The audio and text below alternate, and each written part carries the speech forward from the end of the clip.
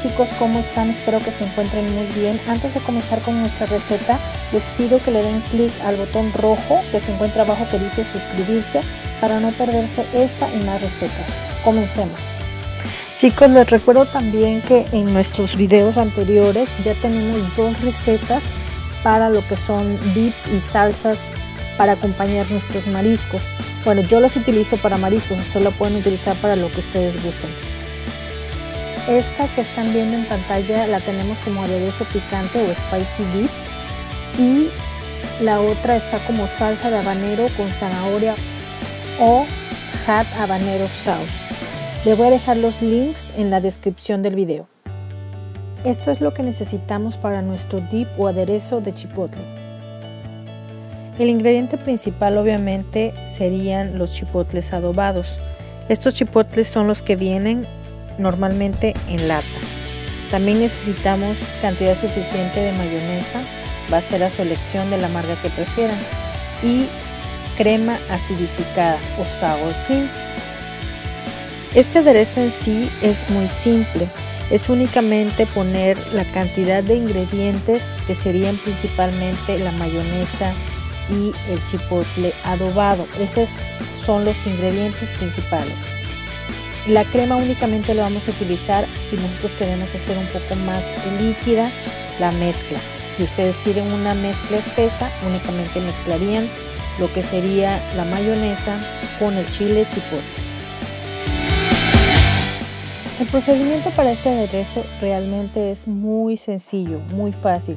Únicamente tenemos que colocar unos cuantos chiles chipotles adobados sobre un, en este caso en un plato, yo lo estoy haciendo y con la ayuda de un tenedor vamos a ir cortándolos o tratando de triturar lo más posible, machacarlos. Normalmente este procedimiento se puede realizar o se realiza con la ayuda de una licuadora. Yo para la cantidad que iba a hacer en este momento realmente no me convenía hacer una licuadora porque era muy poca la cantidad que yo necesitaba. Pero es como ustedes prefieran o consideren. Si ustedes, aunque piensen hacer una cantidad pequeña, les gustaría que al momento de que ustedes utilicen el dip no tenga pedacitos de chipotle o no tenga esos trocitos que nos van a quedar obviamente por triturarlo así con el tenedor, lo pueden hacer con la licuadora y les va a quedar una mezcla homogénea y de mejor aspecto obviamente. Es cuestión de cada quien y cuestión de gustos también.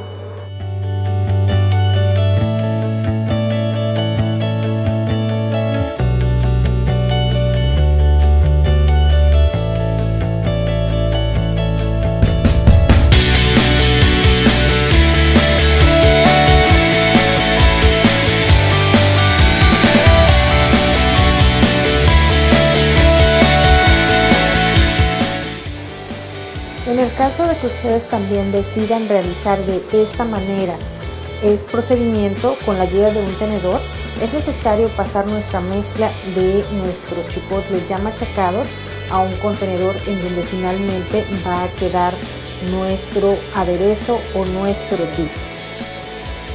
En el caso en que ustedes decidan realizarlo con la ayuda de una licuadora, únicamente los ingredientes deben de ir dentro de la licuadora, que serían los chiles enteros, la cantidad suficiente de mayonesa y la crema. Moler a una velocidad alta hasta alcanzar nuestra consistencia deseada. En el caso de que ustedes lo estén realizando como yo lo estoy haciendo con la ayuda de un tenedor, únicamente vamos a poner lo que sería nuestra mayonesa yo calculé para la cantidad de chiles triturados que me salieron que con dos cucharadas de mayonesa era más que suficiente. Entonces, dependiendo ustedes si les gusta mucho la mayonesa o prefieren que su dip no quede muy picoso, pueden utilizar más cantidad. Yo utilicé dos cucharadas, pero les recuerdo es en base a la cantidad de chiles ya triturados. Entonces aquí únicamente tenemos que revolver muy bien yo lo estoy haciendo con la ayuda de un batidor en globo o un batidor manual. Este es pequeño. Si ustedes no tienen un batidor como estos, no hay ningún problema. Lo pueden hacer con el mismo tenedor con el que trituraron los chiles. Ya que hemos realizado esta mezcla, es momento de añadir lo que sería nuestra crema acidificada o crema ácida. Para la cantidad de dip que estoy realizando en este momento, yo creí necesario solamente una cucharadita de crema. Esto lo van a decidir ustedes en base a la cantidad de dip que estén realizando y si lo quieren que sea de una consistencia más líquida. Si ustedes quieren que su dip quede más líquido del que están viendo en el video, tendrían que ponerle más cantidad de crema. Si ustedes quieren su dip un poco más picante, tendrían que ponerle más chile. Y si ustedes quisieran que su dip quedara más espeso, únicamente tendrían que ponerle más mayonesa. Eso sería todo. Pues como ven la receta no es nada complicada, es realmente muy sencilla, muy fácil de realizar. Son pocos ingredientes, normalmente esos ingredientes ya los tenemos en casa y créanme que el sabor es riquísimo, es espectacular.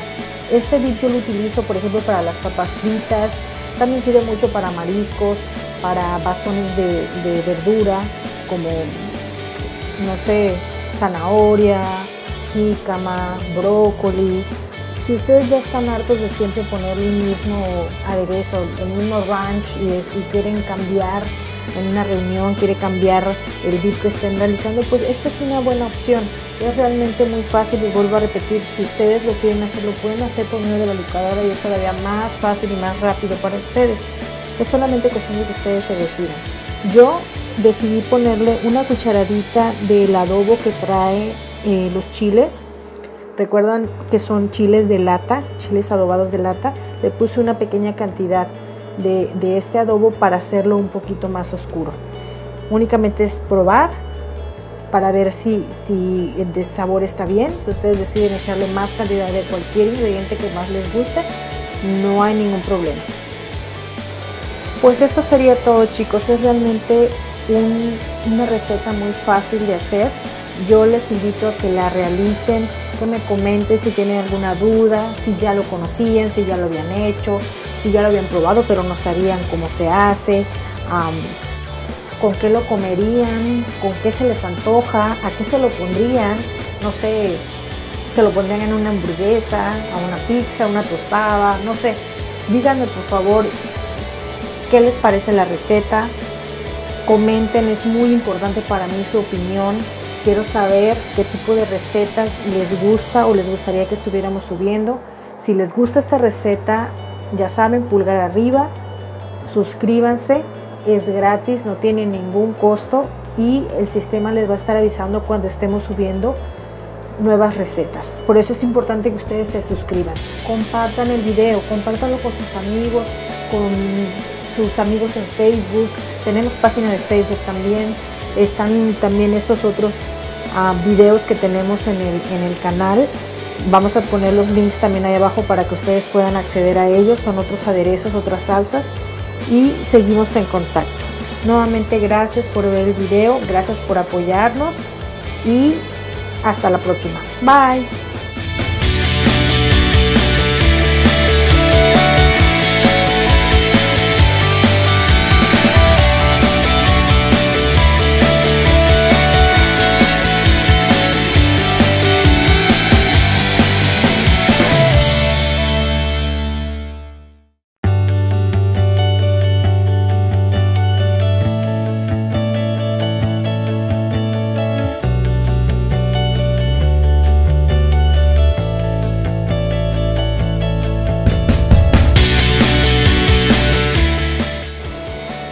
Este tip es para ti, sí, para ti, para ti que te quedaste a ver el final del video.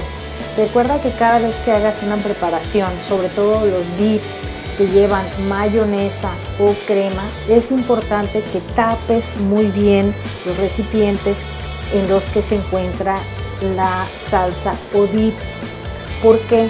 Porque se empieza a oxidar la capa superior de, nuestra preparación y de verdad se ve feito se ve feo. Entonces, para, por cuestión de estética, si no lo vas a usar en el momento, es mejor que los tapes muy bien y Al momento de servir destapas, revuelves nuevamente y listo.